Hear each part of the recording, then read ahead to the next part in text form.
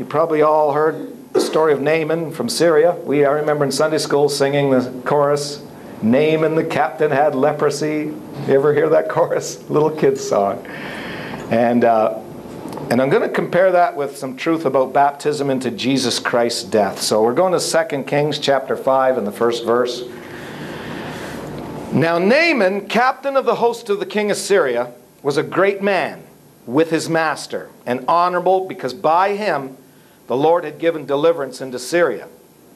Now, notice this he was captain of the military. The whole nation of Syria and their military was led by this man, Naaman. And that meant he was second to the king. And by him the Lord had given deliverance to Syria. He was also a mighty man in valor, but he was a leper.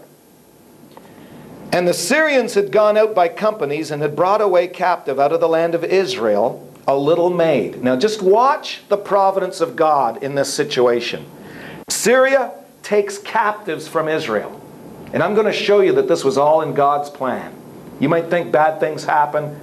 A little girl, a little maid is captured and made a servant in another nation, but God had his hand in it. He's going to use that little girl. And she waited on Naaman's wife. And she said unto her mistress, Would God, my Lord, were with the prophet that is in Samaria, for he would recover him of his leprosy.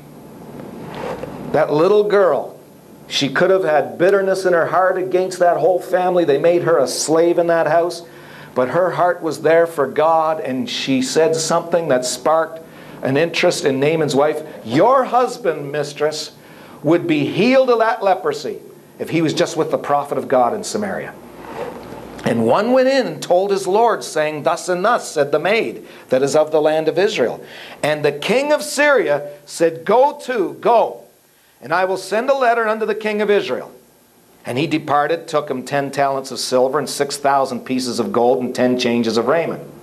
And he brought the letter to the king of Israel.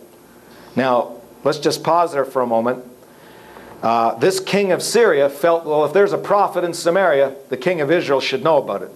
So I'm going to get a hold of my royal brother, the king of Israel, and send him a note. We want some recovery for our captain. So he said, Now, when this letter is come unto thee, Behold, I have therewith sent Naaman my servant to thee, that thou mayest recover him of his leprosy. And it came to pass when the king of Israel had read the letter that he rent his clothes. Back in Israel, you know, we kind of punch the wall or kick the cat or something. They grab their robe and rip it when they're really upset. And he, he rent his clothes and said, Am I God to kill and make alive that this man sends me sends unto me to recover a man of leprosy? Wherefore I consider, I pray you, and see how he seeks a quarrel against me. In other words, he knows I'm not going to be able to heal him. He must just want to make a war with the nation of Israel and absolutely misunderstood what was going on. You know, there's something when things seem to go wrong. Israel's little maid was captured. This king of Israel completely misunderstands the intention of the king of Syria. All the king of Syria wanted was his captain to be recovered from leprosy. And he just thinks there's a big war going. They think there's a big battle coming. And it was so when Elisha, the man of God, this is the prophet that that little girl was talking about. Elisha. He heard that the king of Israel rent his clothes. He said, Oh boy, the king's upset. We don't want the king upset. He sent to the king, saying, Wherefore hast thou rent thy clothes? Let him come now to me, and he shall know that there is a prophet in Israel. In other words, the king didn't even realize there's a man of God here. We can deal with this situation. So Naaman came with horses and with his chariot and stood at the door of the house of Elisha. And Elisha sent a messenger unto him, saying, Go and wash in Jordan seven times and thy flesh shall come again to thee, and thou shalt be clean. Now notice, Elisha never went to the door. This was a, one of the highest men in Syria that had come personally to his door, second to the king. And Elisha says, I'm not going to see him at the door. Here, servant, go tell him a message. And he says, Go tell him to dip and wash himself in the Jordan River seven times. But Naaman was wroth and went away and said, Behold, I thought he will surely come out to me and stand and call on the name of the Lord his God, strike his hand over the place and recover the leper. In other words, do some big abracadabra, find where the uh, leprosy in his body, put his hand on it, and heal it. And, uh, and then he says, Are not our Abana and Pharpar, rivers of Damascus, better than all the waters of Israel? See, Jordan was so muddy that if you were to go there to this day, it's got a clay like color through the whole river. Now, I, I did research, I found out what um, the two rivers in Syria actually are today. Abana and Pharpar. I didn't bother to get their names though, but they're crystal clear. And so, not only if water was going to cleanse leprosy, he could have stayed home and gone into a river there, he thought. But they're far cleaner than they are in Israel, too. There's not a river in Israel as clean as these two rivers in Syria. What a waste of time, what a waste of effort to come all the way down and not even have that prophet give him the courtesy of meeting him personally. After all, I'm the captain of Syria. God was humbling that guy. and so he said, May I not wash in them and be clean? So he turned away and went away in a rage. And his servant came near and spake to him and said, My father, if the prophet had bid thee do some great thing, would you not have done it? If he had some big grandiose, big showcase of a ritual where you'd really look important, you probably would have gone out of your way to do it. How much rather than when he says to thee, wash and be clean? A simple thing, like just go to a river, dip seven times, and that's it. You would have done it. It was far more complex because of your pride. But all he's asking you to do is go to Jordan and dip seven times. Then he went down, dipped himself seven times in Jordan, according to the saying of the man of God, and his flesh came again like unto the flesh of a little child. And he was clean. Notice it doesn't say he was healed, he was what?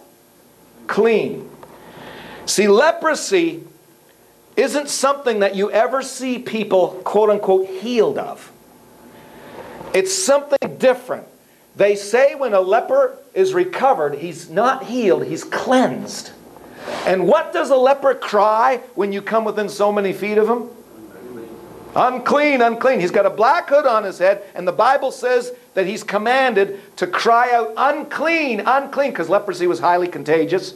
Keep away from him. He didn't say disease, diseased. He said unclean, unclean. And leprosy, because of that, is a perfect symbol of sin in our lives. We don't get healed of sin, do we? We get cleansed, we get washed. And leprosy in the Bible represents sin. And so this man, and if you go back to the first verse, it says, God had given deliverance unto Syria by this man. And, and my mind seems to somehow go back to Adam. God had given Adam power over the earth.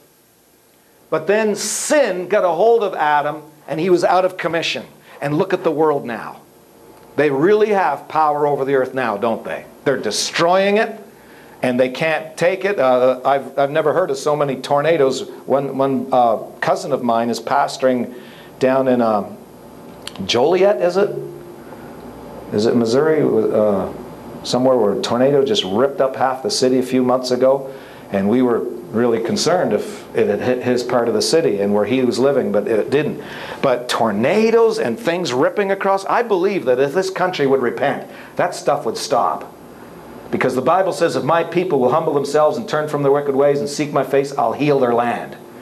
Things like that would stop. That's why, church, we're the salt of the earth. We need to really believe God for our nation. And, and America's really going through it and you can see the iniquity and why. But um, it's just like this man had power, and here, struck with leprosy, he was now unclean, and um, and so that represents sin. It's not just a regular disease in the Bible. Now, as I said, a little maid, a girl, was taken from Israel and brought into his house. And God had this all planned out that Naaman would come in contact with Naaman, uh, with Elisha rather, because of this little girl. When he sent word to the king, the king either forgot about Elisha or didn't even know what was going on. By the way, when it said God had used Naaman to bring deliverance to Israel, do you happen to know the king that was just knocked out of office before this story happened? Ahab. And remember, there was a captain that drew a bow just by coincidence and shot it in the air? Remember, I said there are no coincidences hardly? And that bow struck Ahab right between his shoulders, and he was disguised as a normal soldier because there was a prophecy that was told, You are going to die in battle, king. Remember, we were teaching on false prophets and prophets, and all the false ones said, Oh, no, king, you're going to be all right. But um, the men of God said, No, you're going to die. In fact, that was Elijah. And uh, so, at any rate, that I wonder if that might have been that man Naaman. Shot. He was a captain of Syria, and then we read by Naaman's hand, he had delivered the kingdom of Syria. Any, at any rate, um, he, came, he comes to Elisha's door. He expects this big, grand, and glorious welcome. And so there's nothing glorious about sin. I don't care if it's the Prime Minister of Canada or if it's the Queen of England. If there's sin in their lives, God has no respect to persons. You're unclean, you just need to get cleansed so that you can live for me and be in my kingdom. And I think what God's doing is taking this grand man, this situation, and letting us realize, folks, God doesn't care. There's only two things He sees. He either sees Adam or He sees Christ. In other words, He sees people in sin or He sees people cleansed of their sins. Aren't you glad God's no respecter of persons? And I remember Paul said, I used to look at people after the flesh, but I don't look after the flesh anymore. In other words, if the Queen of England had walked into this room this morning and Paul the Apostle was sitting there, and then a little girl walked in here, filled with the power of God, repentant of her sins, serving Jesus. He would be more excited to see that little girl than he would the Queen of England. Amen. And so Naaman was nothing more than a sinner. It doesn't matter what how many how much money people have, how much fame they have. I'm so glad God's no respecter persons. They need to get right with God as much as anybody else. And so always understand, don't look at your life and your situation as somebody so low that God can't stand you. He loves everyone on an equal basis, praise God, and I don't care if it's Naaman. In fact, if you go, this is 2 Kings chapter 5. If you go to 2 Kings chapter 4, you read about a little boy that was raised from the dead by Elisha. In fact, I, am waiting on God because I, when I was studying this, the Spirit was really speaking to me and I, am not getting it all yet, and so I'm going to have more about this. But both 2 Kings 4 and 2 Kings 5, a little boy raised from the dead and a big mighty captain of Syria cleansed from his leprosy, both have a powerful message of water baptism in the name of Jesus. Watch how this comes out. Dipping seven times in Jordan not only cleansed Naaman from his leprosy, but how many have ever read in Leviticus 14 the ritual of the cleansing of the leper? You ever read that? It's a powerful, powerful symbolic message. Let's go there. Leviticus 14. The Lord spake unto Moses, saying, This shall be the law of the leper in the day of his cleansing. He shall be brought unto the priest. I want you to picture this. The priest shall go forth out of the camp, and the priest shall look. Now, the reason, does anybody know why he said the priest had to go out of the camp? Lepers weren't allowed in the community. They had to go out. They had leper colonies. And so this man's going to see the priest. The priest has to meet him outside of the camp. And the priest shall look and behold, if the plague of leprosy be healed in the leper. Notice the leprosy's already gone at this point. This ritual is there because the leprosy was already dealt with. Then shall the priest command to take for him that is to be cleansed two birds now you might say, well, if he's already healed, how come he needs to be cleansed?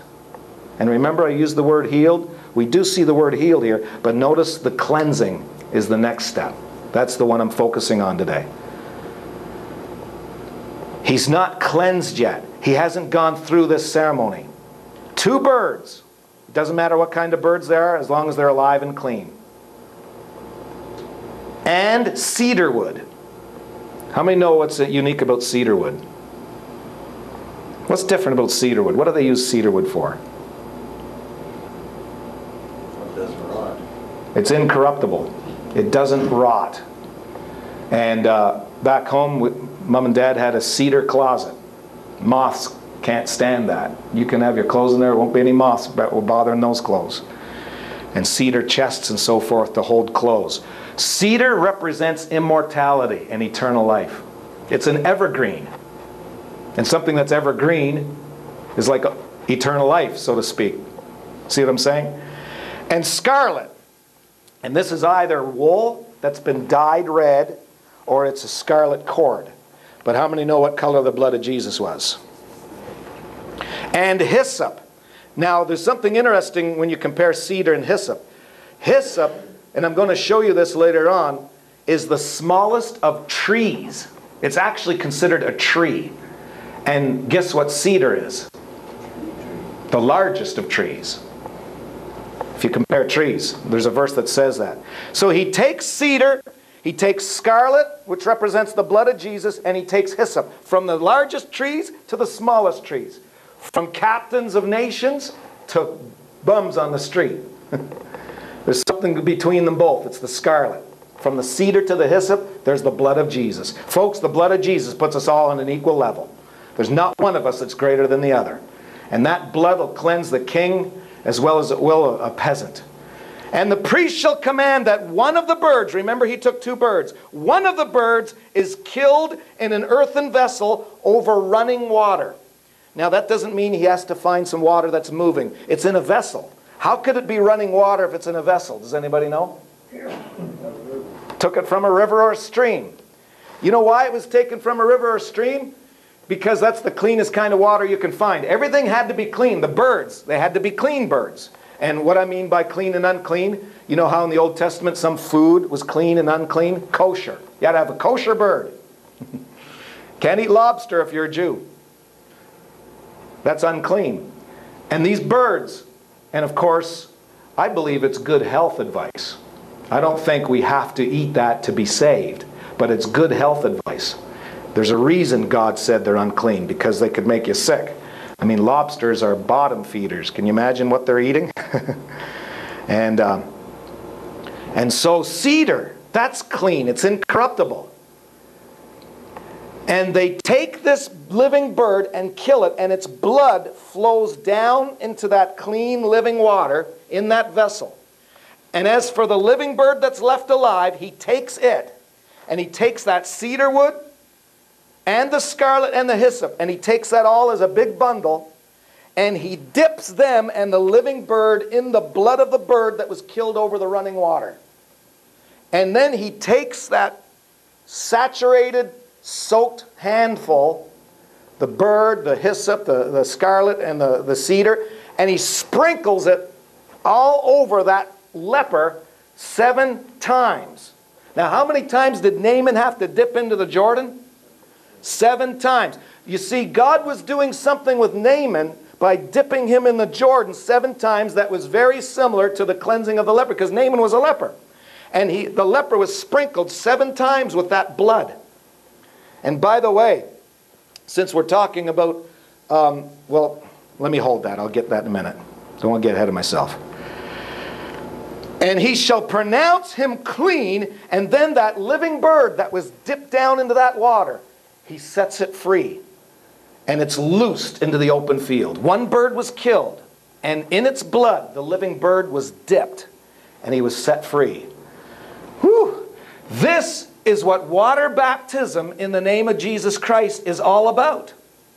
Now, we've, we've taught for six weeks about rightly dividing the word, the gospel that the apostles preached. Not just any Lord's Prayer gospel and all that, and I appreciate all their efforts, I appreciate everything, but it's like, remember, Priscilla and Aquila showed Apollos the way more perfectly.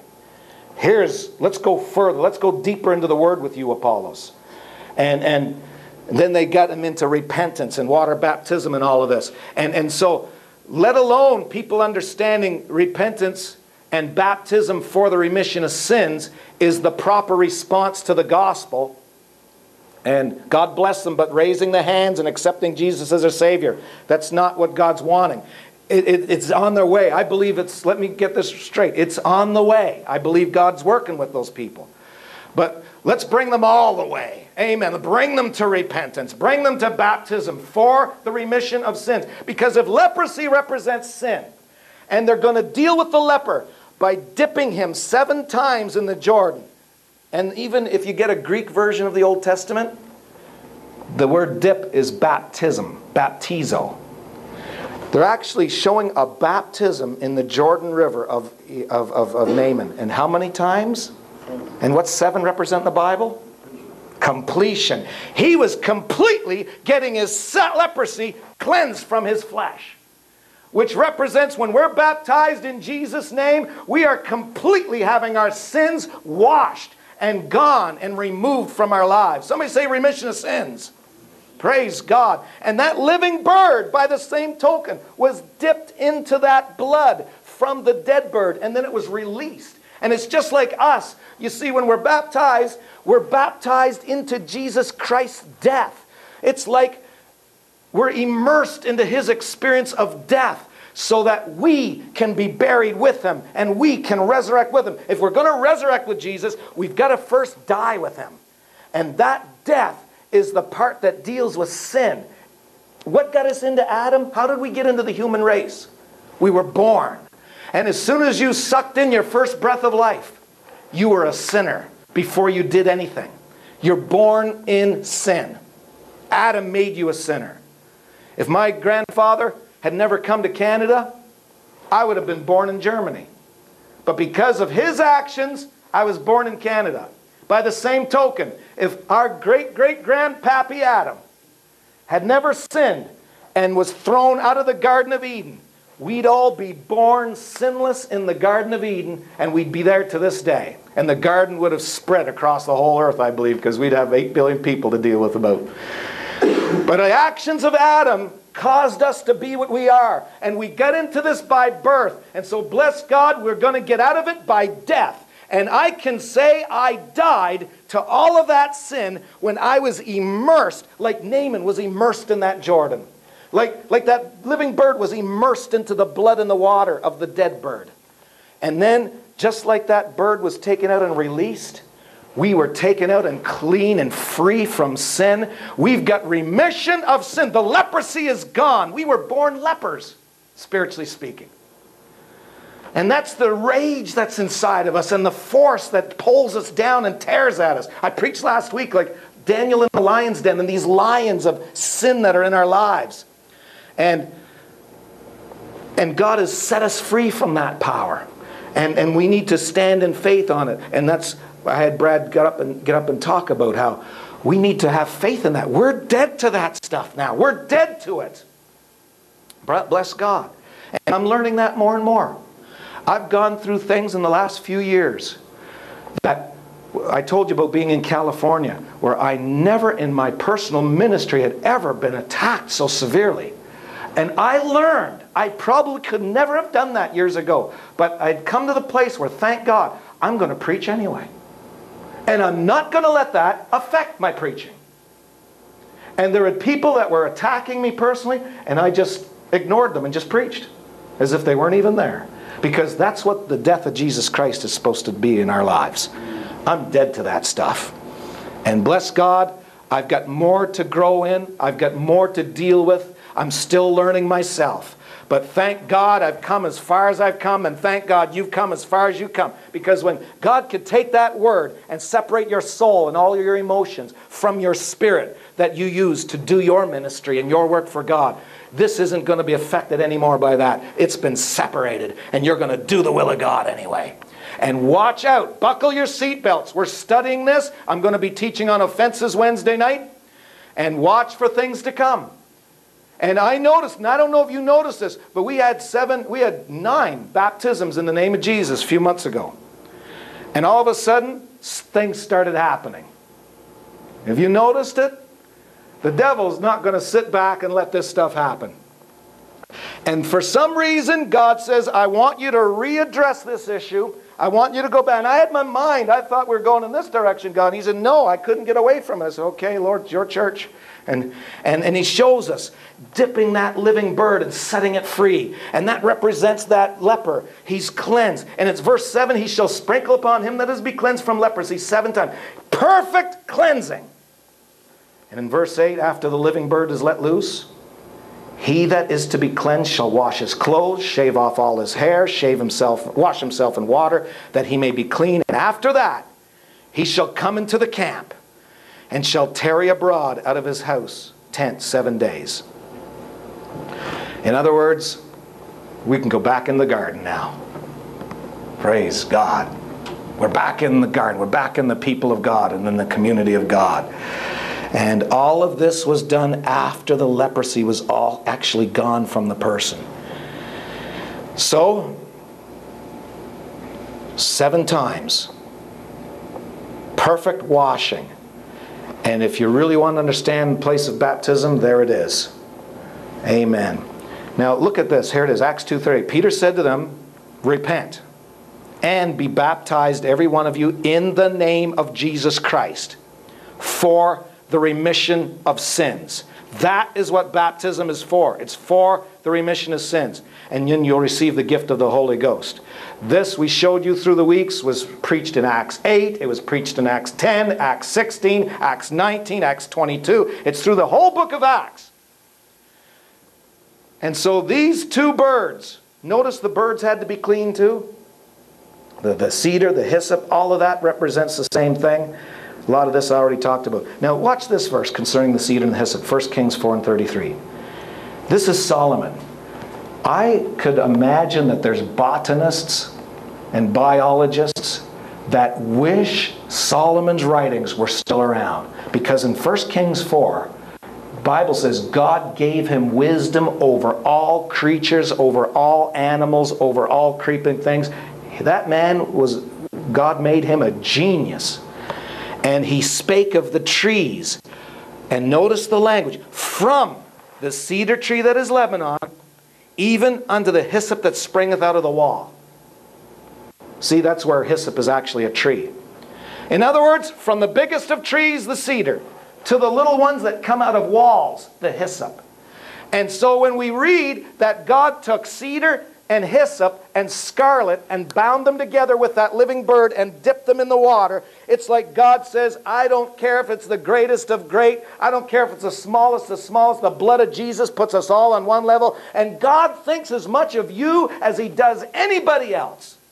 Praise God. Aren't you glad for that? It doesn't matter what you've been through. It doesn't matter what you're going through. He looks beyond all your faults and sees that need. And he, for one soul that repents, the Bible says all of heaven rejoices.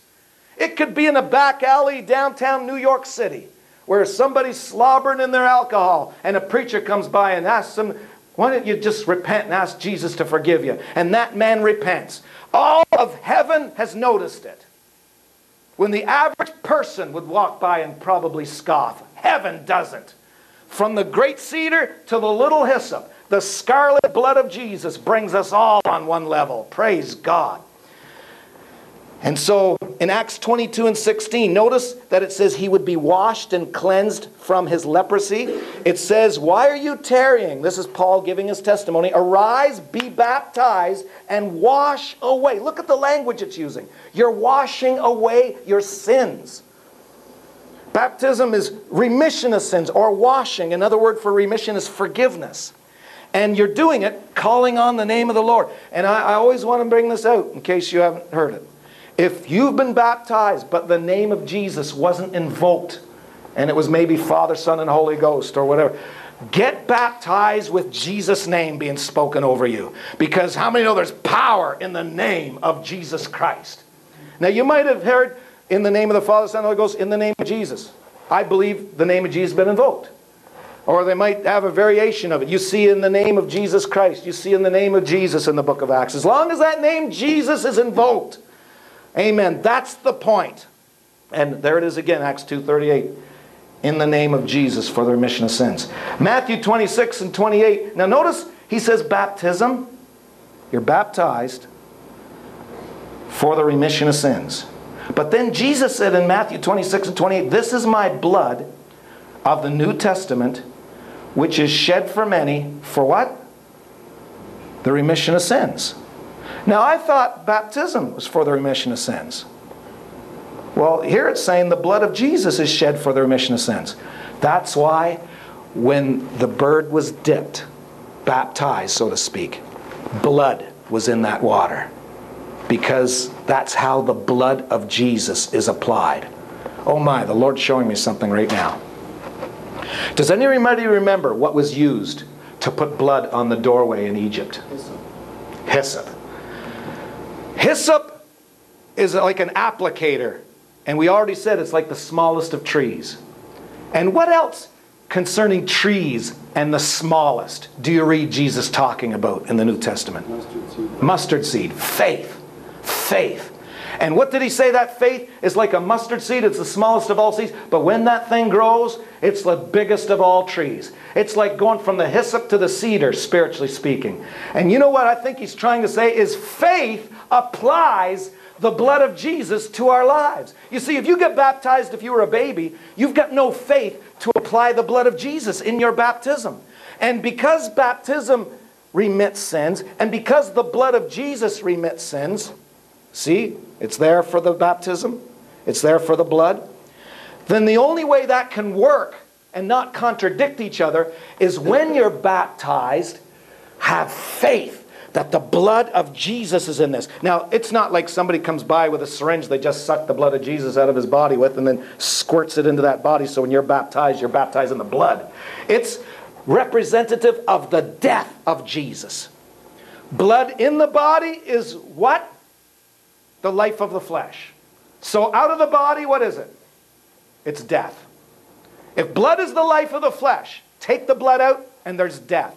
And when Jesus shed his blood, he died. So the reason it says that the blood is for remission of sins, the word blood just represents and stands for his whole death on the cross. And it's that death you're actually baptized into when you see a picture of the bird being dipped in the blood. and that's why, whew, that's why the blood was struck on the doorposts in Egypt by the hyssop. Same thing that was in with the bird when it went into the water. And they walked through the door. And when you go through a door, you're in a house. And remember when we were, Amber was leading us in the worship, and we thought, saw in Christ alone? No power of hell can get us or take us from his hand. In Christ I stand, and as long as I'm standing in Christ, until death comes or Jesus takes me home, I'm indestructible. But you see what the devil does is he knows that while we're in Christ, and let me elaborate on in Christ before I go further. Being in Christ means you have faith. I'm in Christ. I was baptized into his death, and ever since then I've been in him, and I ain't ever going to leave him. I'm staying in him. And when I stay in him, that means I have the faith. I'm going to depend on his death to all that comes against me in life in this world and have faith. It's not going to harm me. It's not going to harm me. And when God sees your faith in that death, and it has done that for you, and you know it, then He anoints you. He brings you through struggles you couldn't go through before. The reason struggles bother us, if we've lost, is we've lost our faith that we're in Christ. Because it's like Peter walking on water. Jesus, if that's you, bid me to come on the water. And Jesus said, It is I, be not afraid. And Peter takes a step on the water. And whew, he started walking. He was walking for we don't know how many steps. But what, what went wrong? He looked at the problem, he looked at the waves. He got his eyes off Jesus. He looked at the waves and he sunk. And that's what happens to us. We take a step and we stay looking at Jesus. I'm dead with him. I'm dead with him. And as long as we keep that in our focus and not focus on the problem, we're not going to sink. But the reason we sink, and we're going to teach on this, we're going to get into the Word, because, folks, there's a lot of things we can teach and preach on and a lot of things we could talk about. But if there's something we need to get a handle on, is going through the storm and still holding on to our faith that we're in Christ.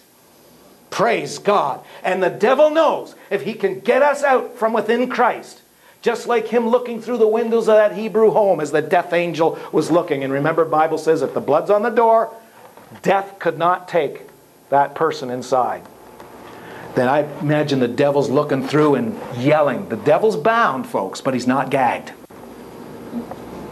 Think of it. The devil's bound, but he's not gagged. He can talk. He can deceive. He can lie. That's why you've got to get your nose in that book and get this in your heart.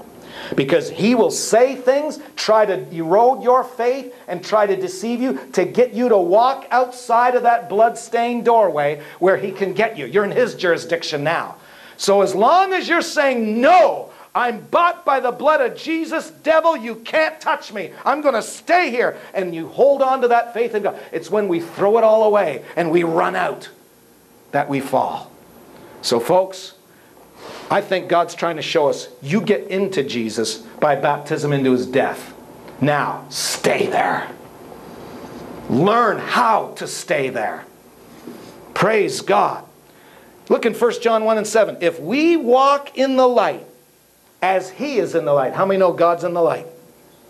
We have fellowship one with another. As long as you're in this house where the blood's on the door, it's like being in the garden. As long as you're in the garden, you're in fellowship with God. But when God cast Adam out of the garden, he broke his fellowship with him. We have fellowship, and look what happens as long as you have fellowship. The blood of Jesus Christ, his son, does what? Cleanseth from all sin. I'm going to go a step further with this blood issue.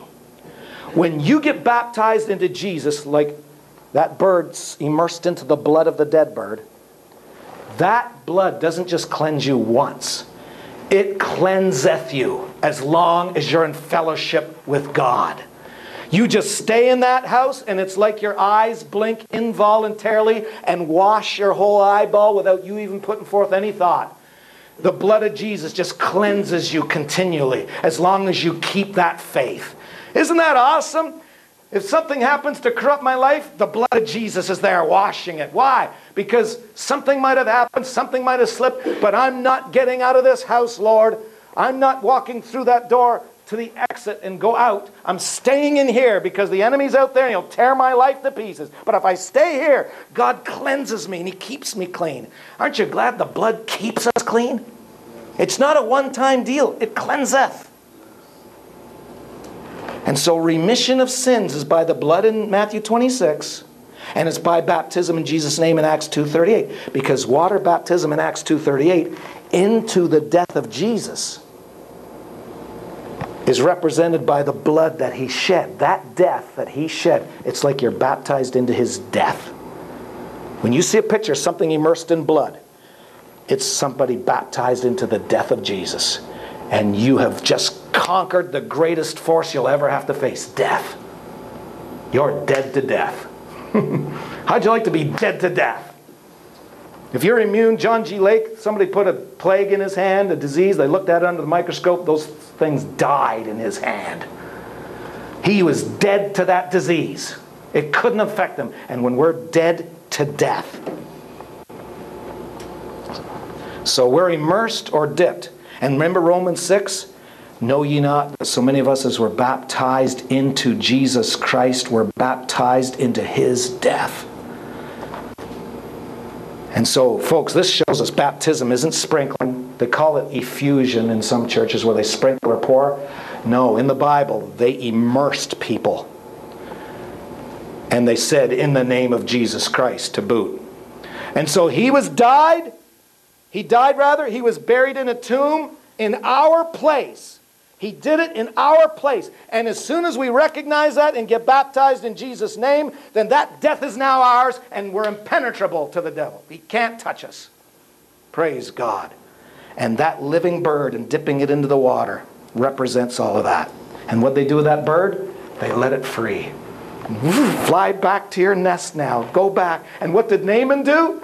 You keep reading the story, he goes back to Syria. And there's some beautiful, beautiful things that happened when he went back. But hold on for that in a minute.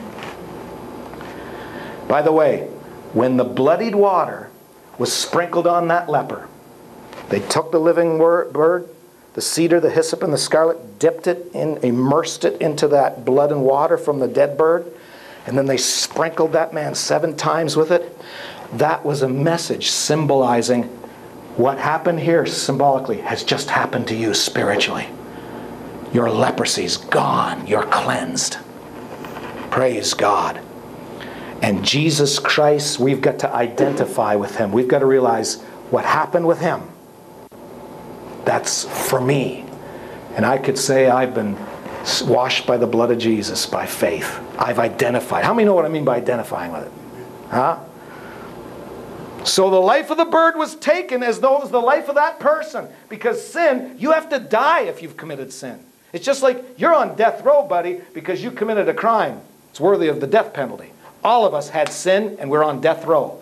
And Jesus says, I'll take the death penalty for you. And then his death counts as all our death penalties, and we're all free to go now. It's been done. Praise God. lepers represent people who have sin. And I've, Jesus died because we had to die. Watch this carefully. Hebrews 9 and 27. As it is appointed unto men, what? Once to die. Notice it's appointed for us. We, each of us, have to die once. So Christ was once offered to bear the sins of many. Now, look at this.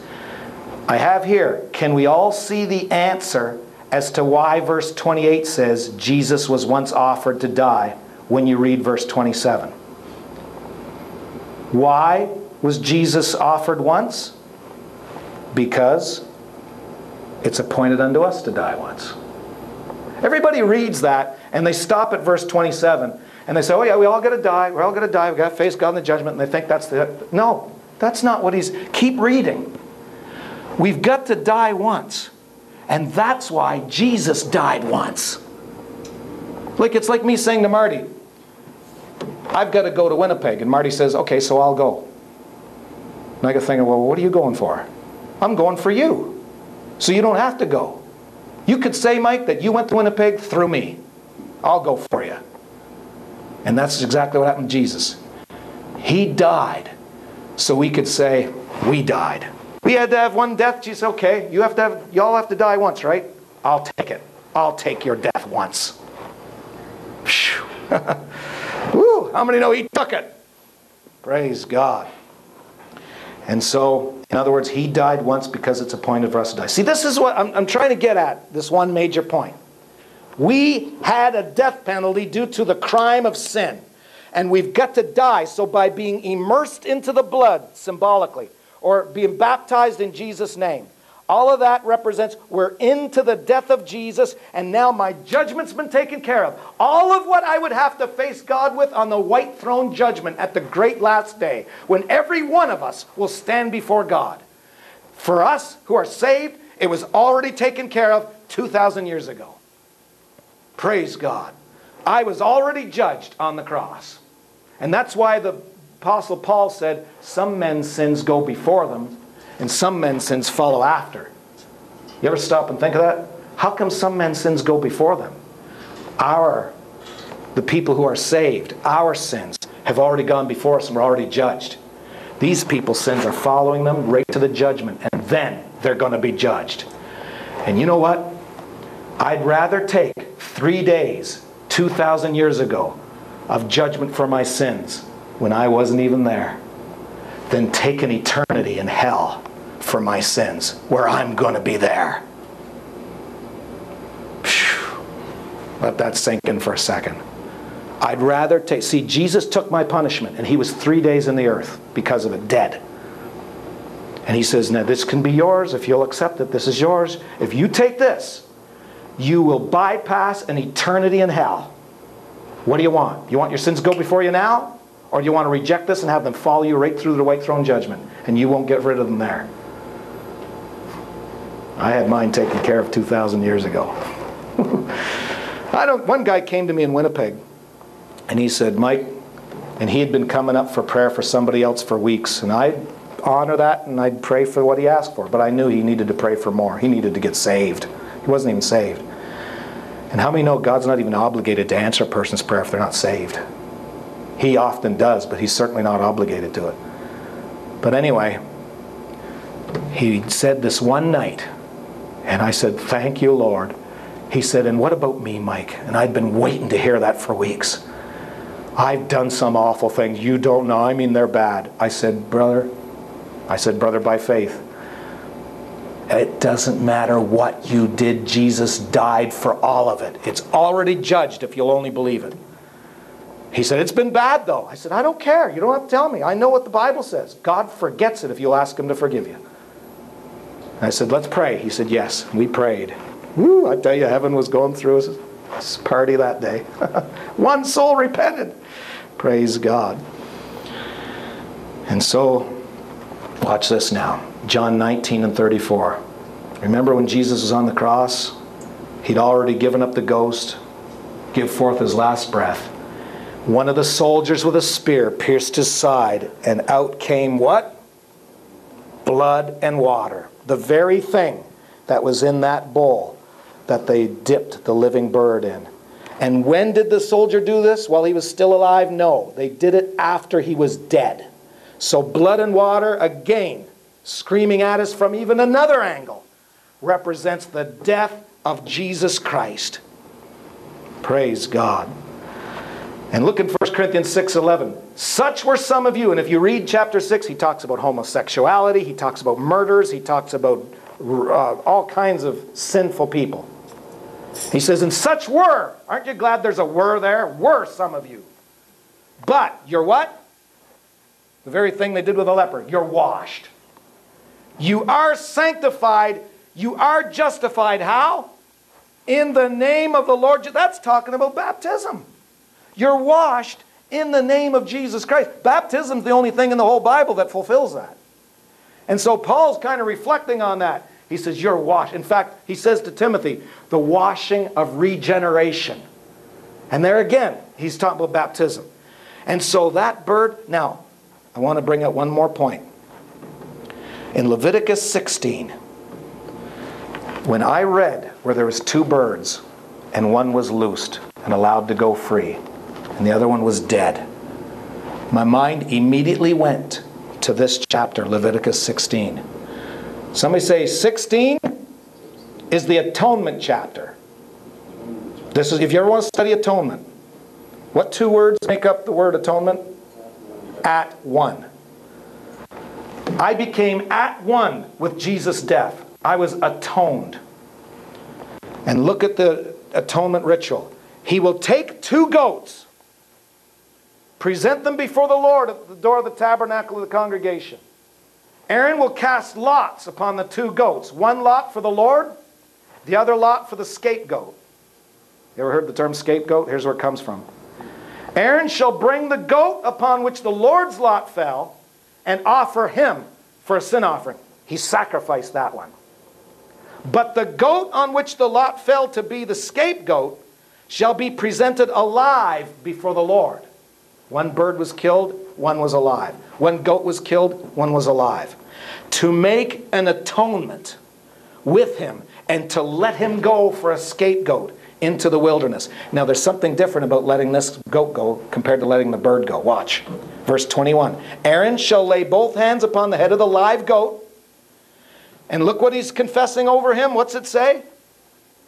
All the iniquities of the children of Israel, all their transgressions and all their sins. He's laying hands on this living scapegoat and he's confessing all the sins of Israel. He's transferring all their sins into that beast and shall send him away by the hand of a fit man into the wilderness. And the goat shall bear upon him all their iniquities unto a land not inhabited, and he shall let the goat go in the wilderness. You know what a scapegoat is? Let's use him, put all the blame on him so we get off with it. And they have a scapegoat. Well, that came from the Bible. Take that goat, put all our sins on him, and send him away so we're free. Whew, can you see the same thing about remission of sins? But watch it in the contemporary English version. This is unbelievable. Watch this.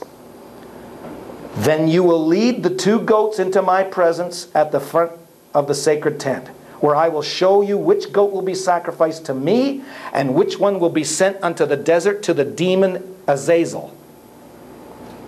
Now, the Hebrew brings out a whole new angle to this. This is a more literal version. After you offer the first goat as a sacrifice for sin, the other one must be presented to me alive before you send it into the desert to take away the sins of the people. Now look at the message version. Then he will set the two goats before God at the entrance of the tent of meeting. Cast lots over the two goats, one lot for God, the other lot for Azazel. He will offer the goat on which the lot to God falls as an absolution offering, sacrifice. The goat on which the lot for Azazel falls will be sent out into the wilderness to Azazel to make atonement. If you offer one goat to God and another one to Azazel, how many know God is the God of the universe? He's the King of kings of all holiness. Now, Azazel isn't some child's mythological little demon running around. It is talking about Satan himself. You're going to the head of the kingdom of God and you're going to the head of the kingdom of darkness. And the lot, and you know what is so interesting? It's like Jesus represents both of them. Jesus, the Son of God, was offered, and the Father looked down and saw a pleasing sacrifice. Remember, he said, My God, my God. He was praying to the Father. And he was offered as a pleasing sacrifice in death. It had to be offered before God in death. And then they take the other one that's for Azazel, the devil. Because Jesus was put under the attack of Satan, where Satan bruised his heel. Remember? The seed of the woman. Serpent, you're going to bruise his heel. You're going to attack him. You're going to kill him. You're going to bruise. The death of Jesus on the cross was like bruising his heel. But the devil didn't remember the rest of the story. But he is going to bruise your head. And so, well, it's like that living goat. Jesus took our sins so we could be free. The scapegoat went in towards the devil, into a wilderness land, uninhabited. How many know demons walk through dry places? Where was Jesus tempted three, three times? in the wilderness. And that goat, that's the scapegoat, represents the Lord put under the attack of the devil. But Jesus Christ crushed his head by dying and resurrecting again. Amen. Isn't that awesome? And that's atonement. Somebody say atonement. That's atonement. He takes away our sin. The devil was allowed to bruise him, the devil was allowed to kill him, but bless God, that death that we're baptized into was busted wide open by his resurrection three days later. And it's like he crushed the serpent's head and destroyed the power. The head represents power. Man is the head of the house, man is the power of the home. And he represents the final. The head is where the decision, the final decision. And praise God, Jesus had the final decision against the devil. He crushed the devil's head. Thank you, Lord. Somebody say atonement. And in closing, and you know, this is a bit, I didn't want to take as long as I have in the last couple Sundays, but we have lots of time for ministering still. But I want to show you about Naaman at the end of the story. Naaman came up out of that water with the flesh of a little child after he was dipped. That living bird represented him. The atonement was made. And you know why it says he came up with a flesh as a little child? We're born again by the water and by the Spirit. Water baptism in Jesus' name is being born of the water, folks. People get all kinds of theories about being born of the water. Go to the book of Acts and find out what the water was. What was the water and the Spirit? Go to the book of Acts. Holy Ghost baptism, water baptism. And bless God, when he came up out of being immersed, and how many know Jesus was baptized in the same Jordan River centuries later? This was the Jordan Naaman was baptized in. Seven times, perfect cleansing. You get baptized in Jesus' name, that's perfect cleansing. You are born again. You get the flesh of a little child. Isn't that beautiful? Praise God. Baptism's being born of the water. It's part of the new birth. And you know, watch this in 2 Kings 5 and 15. He returned to the man of God. He and all his company came and stood before him and said, Behold, now I know there's no God in all the earth but in Israel. This proud man got humbled. He comes right back. He says, I know now there's no God but the God of Israel. I couldn't have got anything out of the rivers. In fact, I'm going to go further than that and he say the land of Israel's blessed. Forget our crystal clear waters in Syria. I don't care how muddy Jordan is. Your river and your land are so blessed. And he said, I pray thee, take a blessing of your servant. And Elisha says, As the Lord liveth whom, before whom I stand, I will receive none. And he urged him to take it, but he said, No. In other words, you can't buy this, folks. You can't buy this. And Naaman said, Shall there not then, I pray thee, be given to your servant two mules' burden of earth? Give me two donkeys, and uh, give me as much earth from your blessed land as you can, that two donkeys can carry it. I want to take part of your land back to Syria with me. And he says, For your servant will henceforth offer neither burnt offering nor sacrifice unto other gods, but unto the Lord. In other words, I'm going to build myself an altar when I get home, and it's going to be from land that's down here in Israel. Now, you could take land from Israel now and bring it over here, it'll do nothing for you. God's finished with using the material. How many know it's all in the Spirit now? So don't get mixed up in those things because you're going back under the old covenant. This was symbolism, folks. There's no holy land anymore. You know what the only holy land is now? I'm made from the dust of the earth, and here's Holy Land. Woo, us. So maybe people take a chunk of us home with them or something. but there's no Holy Land anymore. You know, that's, that helps the tourists out in the Middle East, but folks, we're on holy ground everywhere. We're on holy ground here in Canad Inns and Portage la Prairie right now. Amen. And over in Israel might be a bomb going off somewhere in Tel Aviv, but there's holy ground in Canada and there's holy ground too there if they believe. And, and but it says, I want to take. Now remember, Naaman had just said earlier, all the rivers in Syria are better than anything in Israel. Well, he got a change of mind now. He says, Man, I want to take some of your dirt back with me. Praise God. He came out of the darkness of Syria, a nation of idol worshippers, came into the light of Israel. And he says, I got to bring back some of this Israel into Syria. And every time I sacrifice, it's going to be to God, and I'm going to stand on your earth just like I'm in your own nation with you, serving the God of Israel. Woo, aren't you glad? Praise God, we could take something out of the kingdom. Amen. And bring it. And so, Naaman returned back to that place of power, cleansed of his leprosy. And God wants to bring all of us. We're meant to be kings, folks. We're meant to be kings and priests. We're not meant to be sinners mucking around by the devil, kicked around and torn up in our lives. All of that can be crushed like the head of the devil by the death of Jesus Christ. And it's so awesome to think. And Lord willing, Lord willing, I'm still hearing from God about this. But just the chapter before, Elisha laid on that dead boy's body and raised him, and there's something about baptism there. There's a message of baptism in First, Second Kings 4 and Second Kings 5 with Naaman. Amen.